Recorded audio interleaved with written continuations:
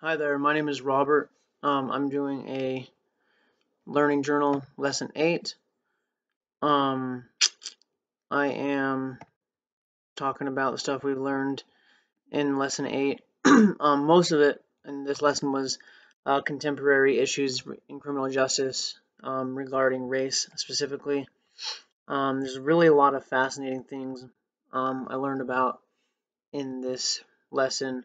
The place I've I learned the most was our discussion. So I'll just kind of go back to some that I read over and, and summarize what I learned. So um, Jordan Allred left a post about um, the population of incarcerated persons and how there's a disparity and how it could be racial, racial profiling um, and, it, and it could be causing a negative impact on the criminal justice system.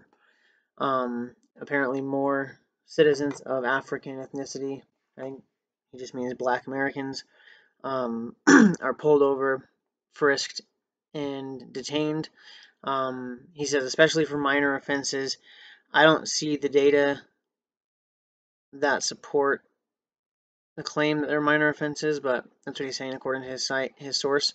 Um, and he said that knowing that um, black Americans are frisked and detained more often, we would think that our prisons would see a larger black population.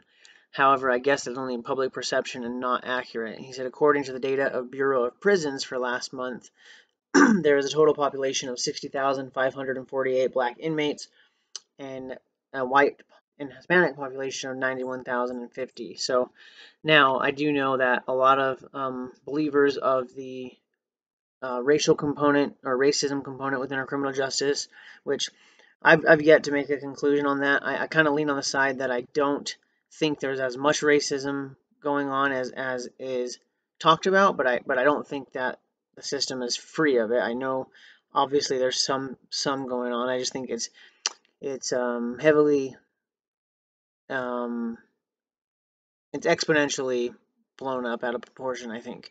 But I don't know for sure. I haven't I haven't done all the research necessary to, to determine that. This is based on the research I have done, which is quite a lot.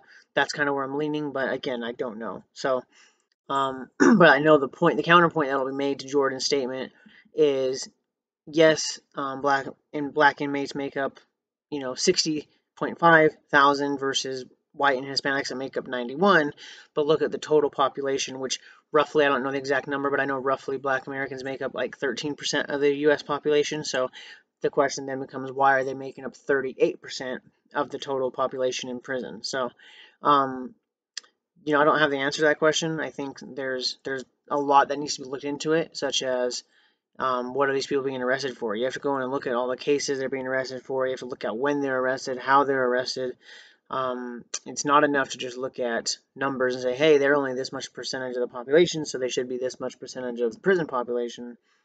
Numbers don't work that way. And but again, that's not to say that there isn't something going on. You know, ra racism, racial bias, whatever, could definitely be contributing to that number. So you know, we just don't know. So that, that was like probably the, the most interesting thing that I learned about um, was his post.